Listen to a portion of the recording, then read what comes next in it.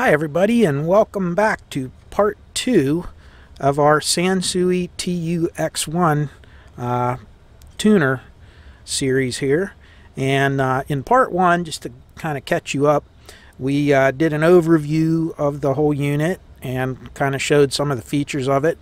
And we then we did the full alignment of the FM and uh, FM stereo section of this tuner. And uh, if you haven't already seen that video, you might want to go back and watch that because uh, a lot of good stuff on there and a lot of things I'm going to talk about are were already covered in first video. So what this is is a continuation. And we're going to focus on this video on the AM section of this receiver. And uh, it is really unique. And the more I study it, the more I learn about it, uh, the more fascinated I am by this tuner. Um, several of you have given me some fantastic comments. Um, uh, brought a few things to my attention that I was unaware of because uh, I really haven't, really up until uh, recently, I didn't sit down and go through the entire theory of operation, how things work.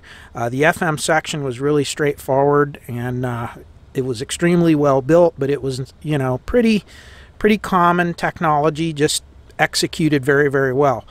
Not the case with this AM. It is, uh, at least for me personally, it's pretty unique to these, to uh, at least a AM FM tuner that you would use for broadcast, you know, AM broadcast and so forth. Um, it's more similar. I mean, some of the technology they're using uh, is more similar to a uh, ham radio type receiver or, or a communications receiver in that it uh, uses some things that you don't normally see in a regular AM tuner. A lot of stereos out there, uh, I wouldn't quite say in the high end ones that the AM section is an afterthought, but really the big focus was on, you know, distor low distortion, really good FM, really good multiplex, really good stereo separation, all those things. In the AM, they, you know, they may put uh, extra state RF stages to make it a little more sensitive and things, but really, it, at the core, it was just an AM tuner. This is not like that. Um, there's some really unique things, and I'll try to go over them with you. Uh, bear in mind that I am not an expert on this circuit, so take what I say with kind of a grain of salt. It's as I'm understanding it, and you and I are learning together.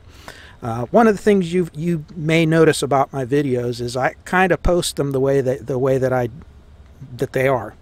I don't try to edit too much out other than to shorten it for content. But really, um, if I'm wrong, I'll leave it on there and let you see that I'm wrong, and uh, we can work together to you know we can see what I do to find out to make it right, or possibly if you catch somewhere where I'm wrong, you can correct me, and you know we can all learn together. But I think it's good to to to see the learning process. Um, the purpose I do these videos is to leave something behind so that um, I can share my experiences with others so that down the road any of you that want to get into working on these things or later on when a lot of the old timers are gone and uh, this becomes more of a curiosity or a museum type thing because the, this kind of technology has gone away, there will at least be some documentation. And there's quite a few people out there on YouTube and so forth that are doing this, and I think it's wonderful, and that's why I try to contribute a little bit to it too. But anyhow, enough of that. Let's uh, let's look at what this thing uh, really how it works and uh, go over a few things on it that makes it unique. So the first thing you'll notice is that there is a pretty large uh, schematic here and this is only the AM section. And uh, in the beginning it kind of looks pretty standard. Um, they're showing here how the FA7 and we talked about that. That's this board up here. You see it right there. Um, they're showing the schematic of the FA7 board and how it ties into the AM section. And once we get through that, okay, and again, this is to accommodate the special FA7 antenna. It's a patent pending antenna that was designed specifically for this unit, and uh, unfortunately, there's very little information available on it. Um, I've never I've never seen anything except that little image that I showed you on the first video, so I know very little about it. Although it it looks similar to just a regular directional antenna, but it also has an AM section to it as well, so it's multi-band.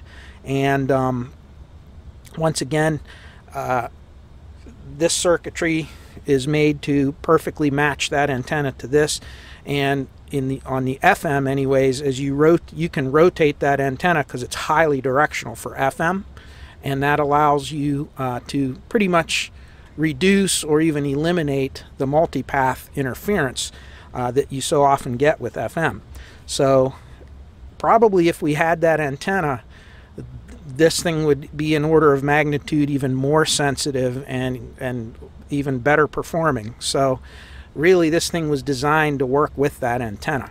I don't think a whole lot of people purchased that antenna, nor do I think it was really made super available. So I don't think there were a whole lot of them out there. But it would be really cool to see the design and try to recreate it because it doesn't look like anything but a basic uh, directional element antenna with it only looked like it had maybe three elements on it or something not too complicated but it would be really cool because I know a lot of you antenna guys out there would would tear that one up. You'd make you'd be able to make one of those and we could try it.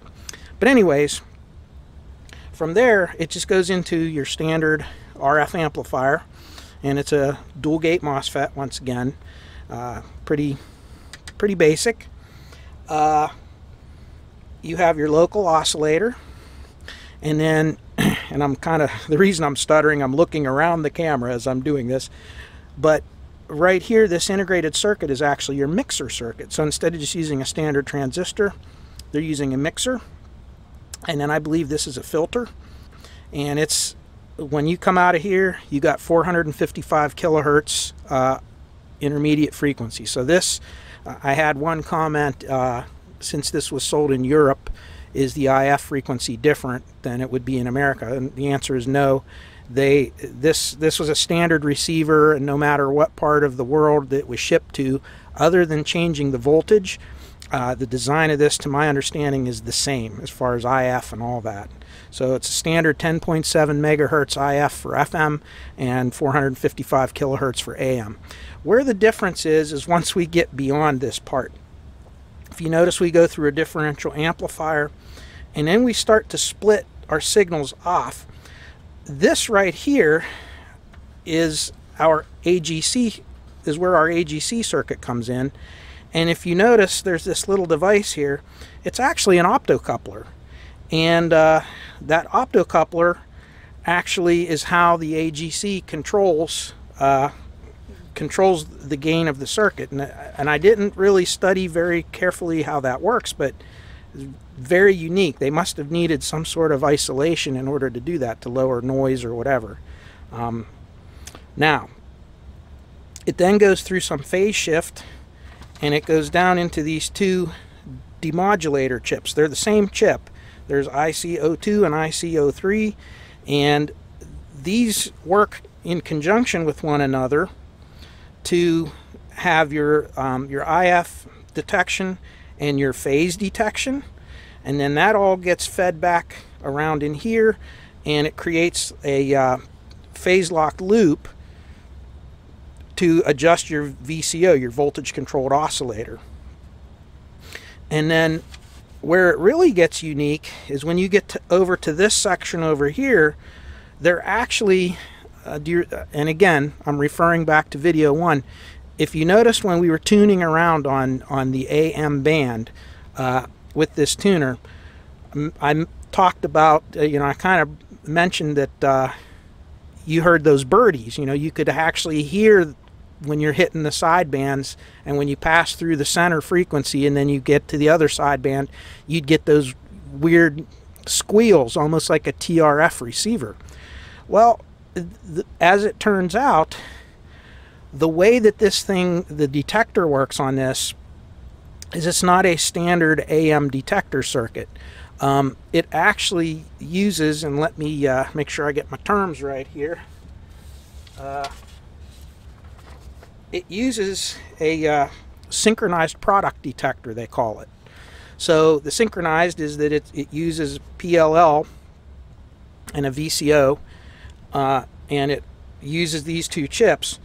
And the the product detection is where they actually strip off, and they have like a little little diagram of it, but they basically strip off the upper sideband and the lower sideband of the AM signal, and then they use the product of the two to uh, to generate a, an accurate signal. So if you have if you have noise or interference at the upper or lower sideband of that AM broadcast, it can actually reject that by by looking at the product and the difference of your sidebands. And to go even beyond that, um, if you wanted to uh, to even more cancel out the uh, you know the, the interference from above or below the station, that's what this beat canceller is for. And if you look at where it says beat canceller, right here, I don't know if you can read that, but there's upper and lower. And what we can do is we can either cancel the upper sideband or the lower sideband of that signal. And then this circuit over here will actually will double the you'll either have two times upper or two times lower to create um, it's not it's not like a single sideband receiver but it will basically create the entire signal out of one sideband. Um, I hope I'm describing that properly or explaining it properly. Um, so once again the, these are tricks that are done in ham radio a lot. Like a lot of the the receivers you know of that time could do that if you were looking at a communications monitor like for ham radio. But very rarely did you see anything like that in a, just a tuner that you would buy for your stereo. This is kind of extreme and they do that for two reasons. Number one they want to be able to extract the maximum frequency range of that station that it that they can. But while they're doing that they also want to reject as much um, interference as possible, whether that interference is from an adjacent channel, whether that interference is, is noise, um, AM noise, uh, whatever the case may be, that's what they're trying to deal with. And other than hearing that squeal as you're tuning around, so remember I said in that video that might be the way it's supposed to work. Yes, it is the way it's supposed to work. That's kind of a, uh, a byproduct of, of this circuit uh, you as you tune off station you, you'll hear that difference and that's that product detection is actually going to be off kilter because you're not centered on the channel. So you hear that squealing and howling. That's normal. What you will notice is once it locks in on that station uh, the noise is a lot lower than on a standard um, AM radio or receiver with just a standard detector, you know, like a diode detector or whatever. So this is a really cool design and it should be superior when it comes to performance when you want to compare it to other tuners out there on the market, which is what made this thing so special and so expensive. Um, we are going to go through the alignment procedure. And if you look at the alignment, there's 11 steps to it, but really the first eight are the ones that were, you know, that are going to make the biggest difference. The other ones are pretty, you know, dial calibration and the sensitivity. That's pretty straightforward. But the first thing they have you do is you start out with adjusting your IF like you normally do. It then has an adjustment for your AGC. Then you adjust your meters. Then we have the VCO adjustment. We're going to do that. Then you have those phase shifts uh, that you use where that's that's that phase shift is very critical um, when it comes to generating your upper and lower side bands for your product detector. So those have to be accurate for this to work right.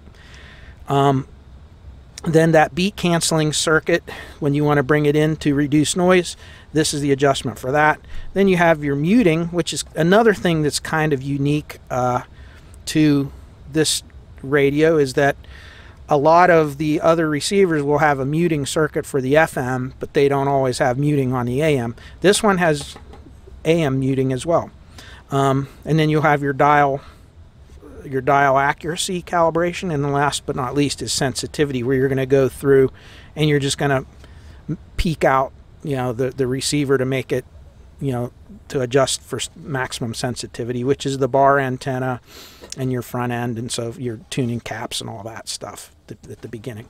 So it's pretty straightforward, but uh, again, it's different than than a lot of other AM tuners. A lot of AM tuners, the tuner section, if you notice, I don't even always show it uh, on my videos because it's pretty straightforward. You put a 455 IF modulated signal, you tweak up your IF, then you put you know a high high channel you know modulated carrier and then a low a low frequency modulated carrier, you know, for the bottom of the band, top of the band, set your dial accuracy, peak everything out, and boom, you're done. This is a little different. So that gives you kind of a little overview of what we're going to do in this video. Once we get this thing uh, dialed in, or at least verified that it already is dialed in, if it is, then we're going to put everything back together. So if that sounds good, that's going to be the rest of this video. So stay tuned and I'm going to get things set up and get ready to start doing our alignment. Okay, for our first uh, alignment process, we're going to do the IF. And as I've said many times, you have to adapt your test equipment um, to the procedure because you don't always have the same test equipment that, that they're recommending.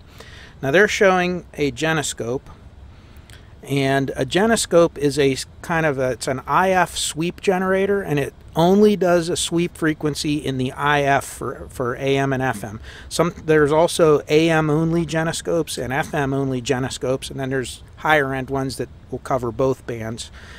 But uh, essentially it works a little bit like a poor man's spectrum analyzer um, in that it, it you can sweep a certain frequency, it'll put some markers on there, and then you can use the built-in oscilloscope to uh, set your peak and center it and so forth. Uh, since I don't have that, what I'm going to do, um, and I think will probably even be a little more accurate, is we're going to use the spectrum analyzer for this. So what I've done is we're connecting the input of our or the tracking generator of our spectrum analyzer into this filter. We're, we're adjusting the IF filter is what we're doing here. So right here at TP03, we're going to inject our tracking generator signal. So that's basically a tracking generator is just going to be a sweep signal. And then we're going to measure the output with our spectrum analyzer at TP10, which is all the way um, let's see where it was. It was all the way down in here, right around your AGC. Let me see if I can find it again. Right here, TP10. So if you look there, that's where we're going to check it. So right before it goes into this optocoupler.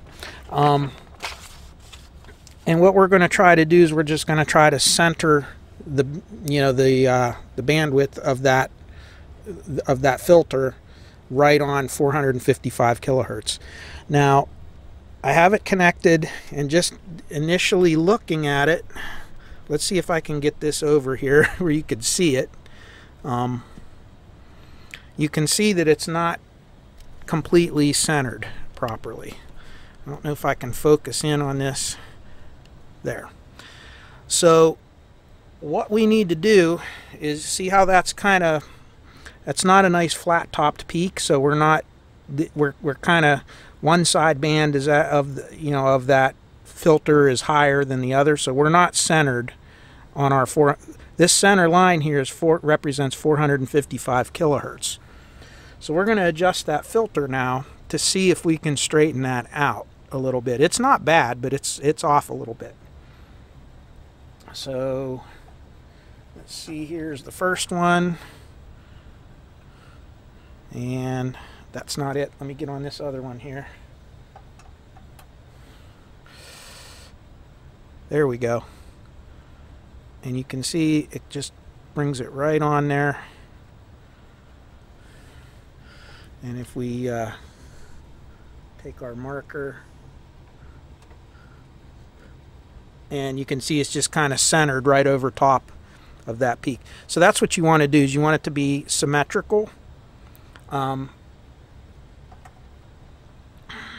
and that's about all I can get there, right? Like that. Now, that does not look totally centered over the 455 kilohertz.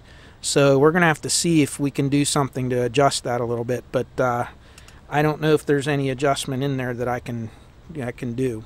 At this one, there's two adjustments on transformer T02 and on that filter and one of them has no effect. The other one flattens it out and I believe the other one is the one that will center it. It doesn't seem to be having any effect and I can tell somebody looks like somebody has been in there because in order to get to this and I'll show you. In order to get to this thing you have to remove the the FA7 board and uh, when I went to take this out, one screw had the had the little washer under it. You could see the little washer. And the other one did not. So I know somebody has had that board out. Um, and I could see the paint was scratched on those two pots. So I think somebody was in there at some point and tried to adjust it, but I'm not 100% sure. Um, and where I'm adjusting is right here, this transformer right here. This is the transformer. And this was the one that allowed us to center it or uh, to uh, flatten it, you know, make it make it uh, symmetrical. But this one is, I believe, is the one that should allow us to center it and turning it has absolutely no effect. So I'm wondering if maybe there's something going on with this filter that it's off by a little hair. Because um, it is off. So right there. So, and I'm not one of those people that likes to power tweak things. I, I make an adjustment, and if it doesn't move it, I put it right back because you can really get things out of whack by doing that. But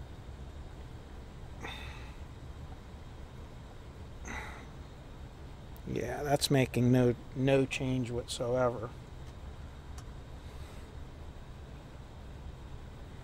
So my question is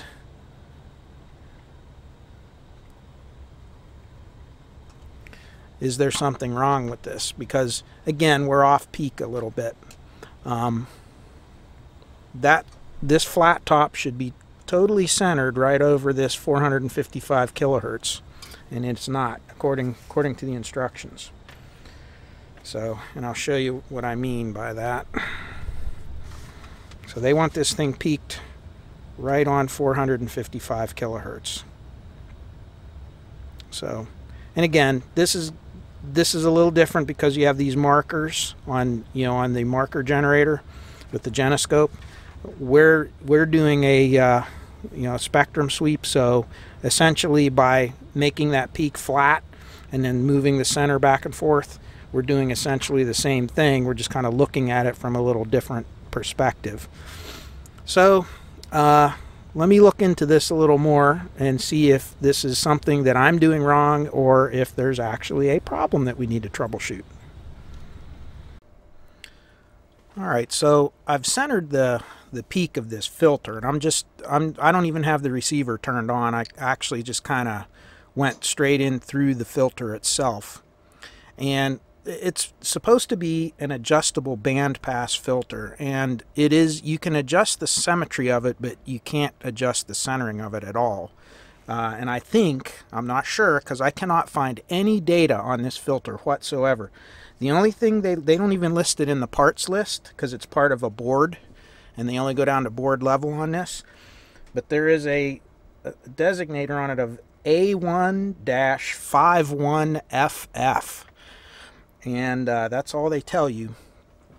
But this, instead of 455 kilohertz, this filter seems to be centered on 452 kilohertz.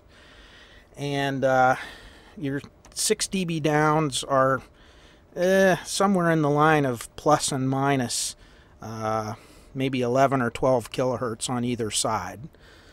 And again, I'm not sure how that's going to affect the rest of the tuner because I can adjust the symmetry and I can show you that. and there you see how I'm moving it.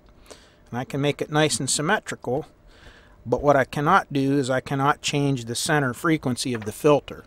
So the question is has this filter drifted um, or is it or is, has something failed in it that we can't adjust? Not sure but uh, we have it as good as we can get it right now at that center frequency we're going to move on and just kind of see what happens from here if we can get everything to come in. Maybe this is not a big deal and I'm making a mountain out of a molehill. I don't know. But we'll find out.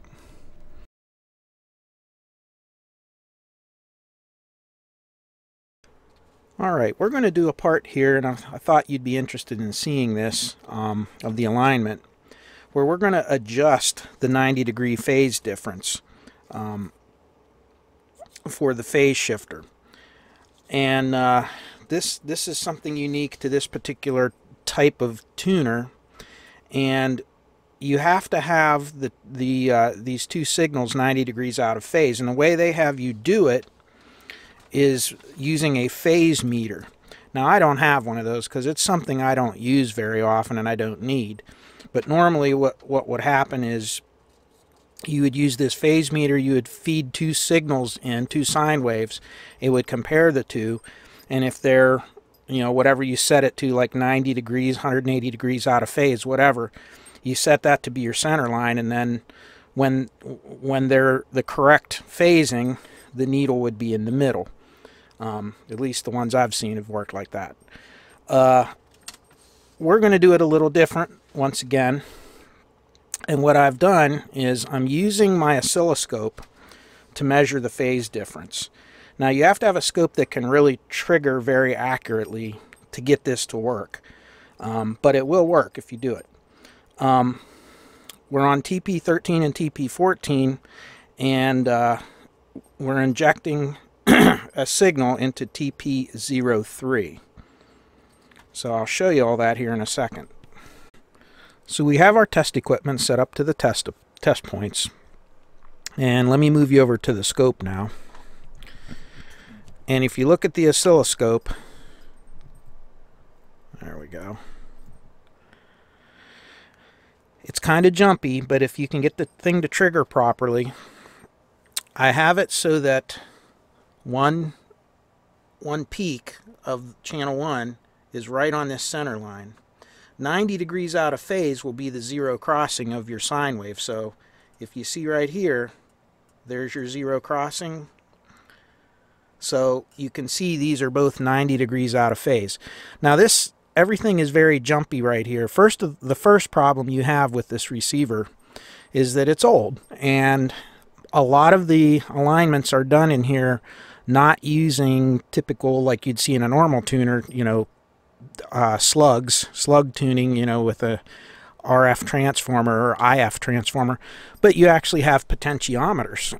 so if you look here, you have these pots, and obviously the teeniest little bit of noise on these pots will cause that to happen. So I've had to go through and kind of work some of these back and forth as I'm going through and aligning this thing to get this all to fall into place.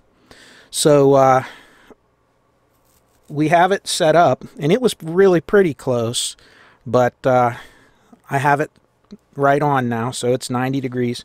Again, you have to adapt to the test equipment you have. Um, the other thing is if you notice on these instructions, Sansui doesn't always be very specific as to what they want.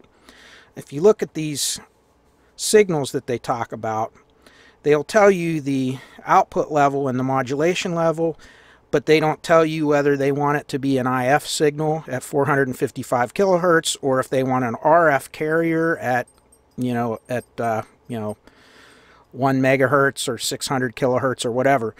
And so you kind of have to figure that out as you go along. Same thing here when they're asking for 160 millivolts. They don't tell you if it's AC or DC. Um, you, again, you have to figure it out. This, this is actually an AC measurement, and uh, you have to use a sensitive VTVM or, or a good uh, digital uh, digital meter that you know that's true RMS. if it's not, it'll throw this alignment off. So you have to have the right test equipment. So uh, as you can see, this is a little bit uh, challenging just because of the, the limited information. And there are some notes, and if you really read the instructions and you study the schematics, you can figure out what they're talking about. But really, this is the very short, abbreviated version of a alignment instruction. They are assuming that you know all of this stuff before you attempt to do it. So not the easiest thing for that. The alignment itself is relatively, like I said, straightforward. So we have this lined up. Now we're going to do the audio phase shifter adjust. And that's going to be done on the oscilloscope as well. And we're going to have to do a Lissajous pattern. Uh, my these digital scopes don't do really well with Lissajous patterns. Uh, they will do them, but they don't do them very clearly. So we're going to switch back over to our, uh, our old analog scope old reliable, the 2465, and uh, we'll get it all set up. Okay, video clip take two. Um, I'll tell you, this, this record button is really tiny on this camera. This is a really pretty nice camera, but the record button is so flaky on this thing. If you just don't watch what you're doing, it'll record and turn back off immediately as soon as you touch it. And that's what happened to me, and I didn't realize that. So we're going to do take two on this. Um, this next adjustment is the audio phase shifting adjustment, and it involves using an oscilloscope in XY mode. And as I said earlier, XY mode on these digital scopes is not very good. Um, it will work, but you get a lot of noise and it's not not really very clear. So we're back to our Tektronix 2465. Um, this involves injecting a 1 kilohertz signal. So let me go back to 1 kilohertz because I've already done the adjustment and it's right on. and then connecting your scope right here and here. So we're injecting our signal at two points. It's the same signal. You just inject it at two points.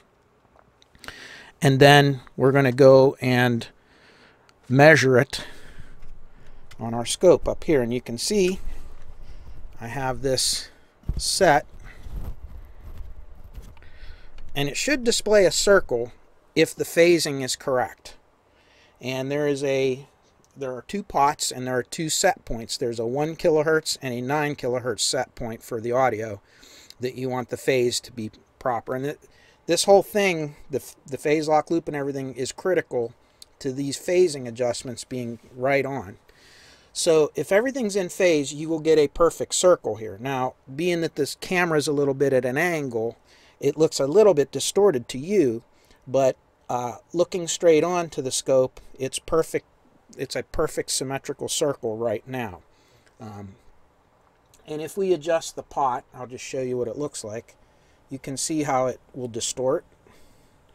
And the idea is to set this as round as possible. So you want it to be perfectly round. And then you move to 9 kilohertz.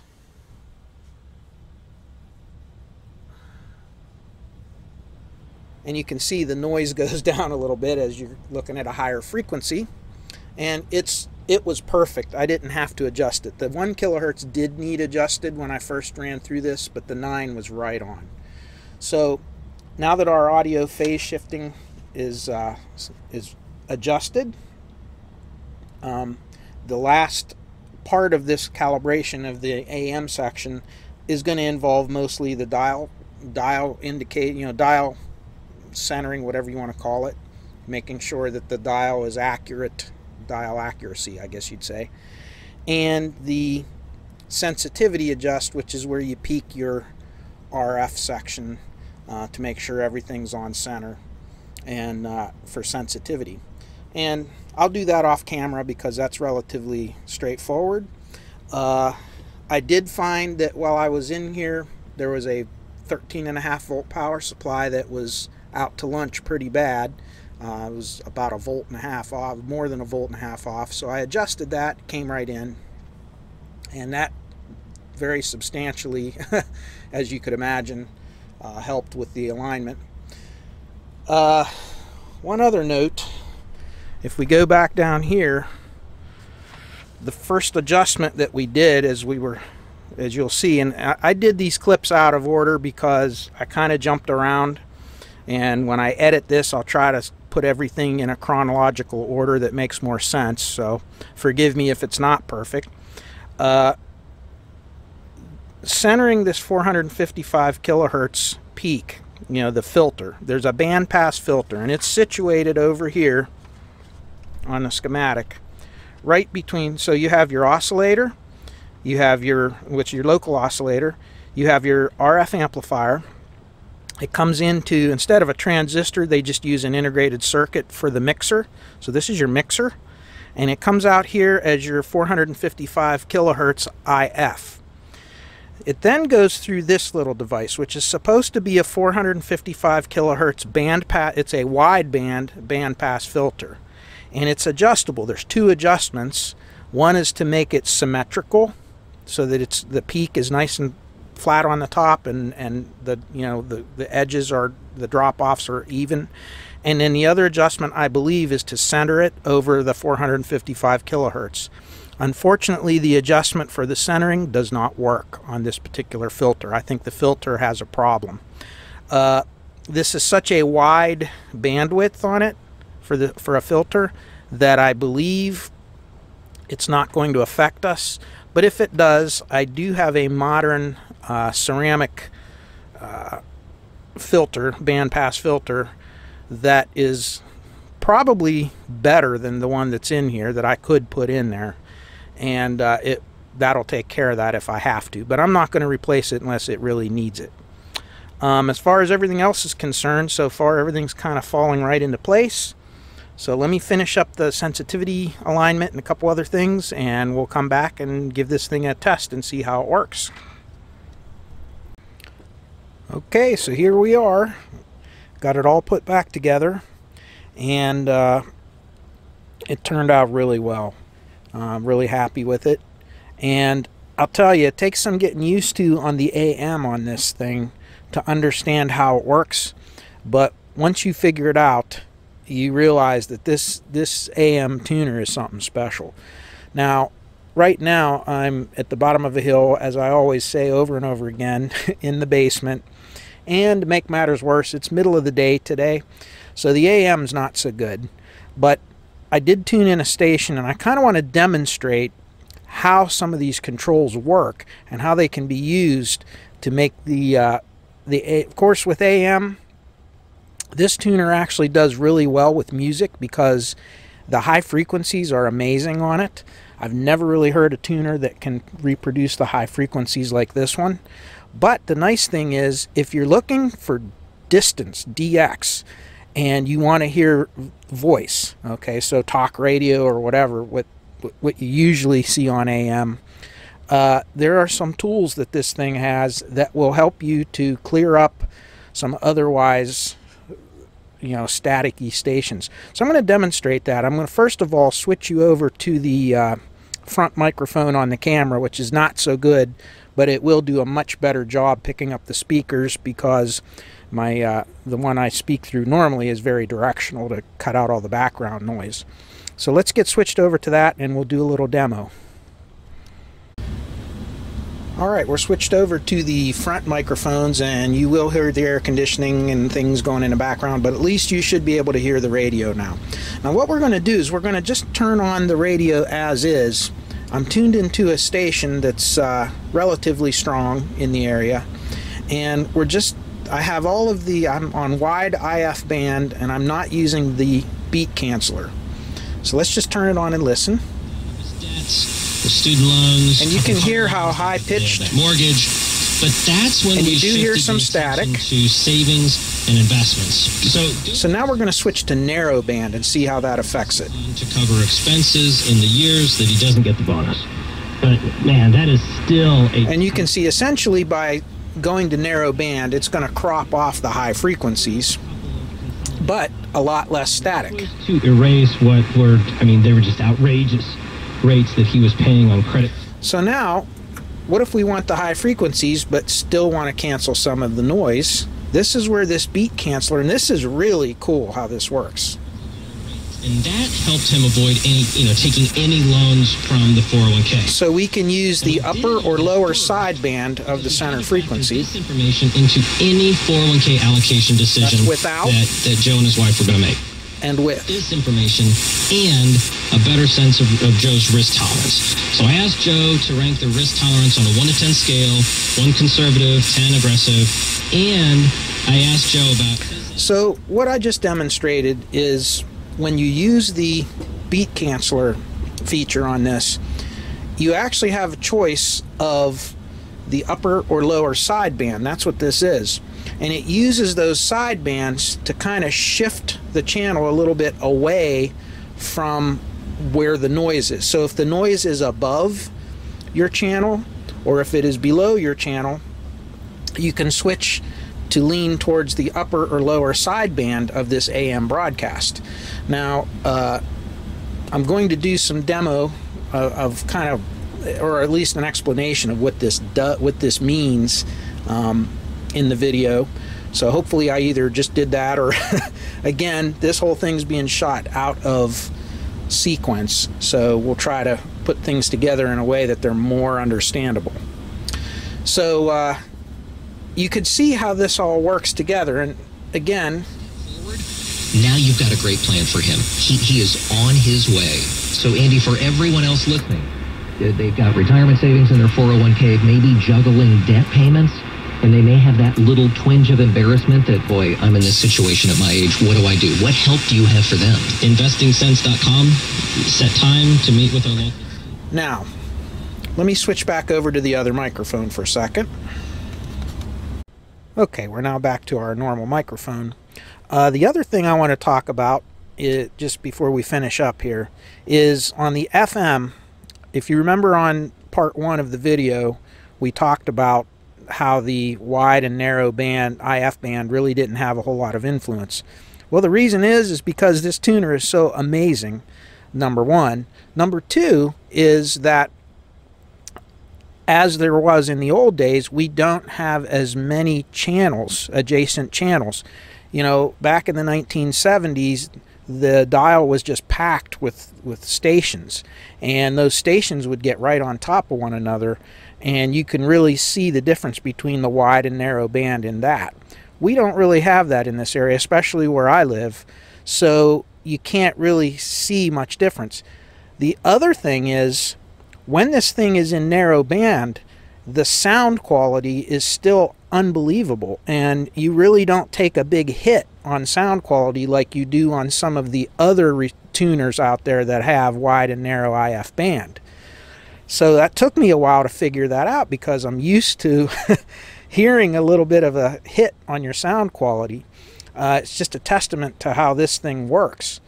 So once again, um, I'm not really going to be able to demonstrate the IF band because of those two facts that I don't have a lot of adjacent channels that we can compare and really if if you don't have any adjacent channels this tuner will still do a really good job of the uh, high frequencies. Now, the other thing is a lot of FM stations today do not broadcast uh, at the fidelity that they used to.